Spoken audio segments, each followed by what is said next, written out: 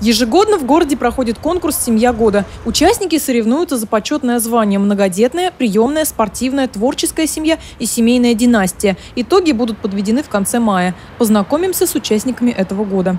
Семье Цветковых талантливы все без исключения. Вечерами, собираясь вместе, папа, мама и трое детей мастерят поделки, рисуют, делают коллажи. Программу «Очумелые ручки» шутят домочадцы, можно снимать у них. Шедевр может родиться буквально из любых подручных материалов. Мне вот часто очень задают вопрос, а, когда вы все это успеваете.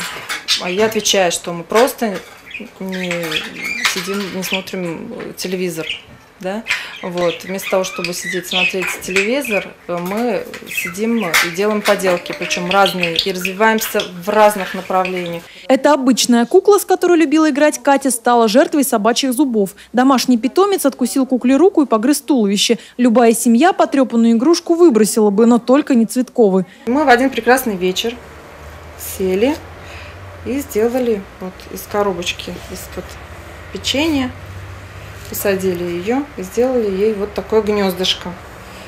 Навели ей марафет. Теперь наша куколка очень довольна. Друзья семьи называют квартиру Цветковых музеем поделок. На стенах картины и рисунки, на полках сувениры, деревья счастья и скворечники. Увлечение творчеством разделяют все домочадцы. Говорят, что совместный досуг сближает.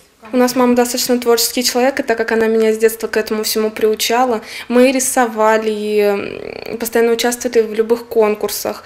И благодаря своей маме я именно такая же творческая, как и она. Это очень сильно сказывается на фантазии, то есть это очень сильно помогало и в учебе, и в жизни, и вообще.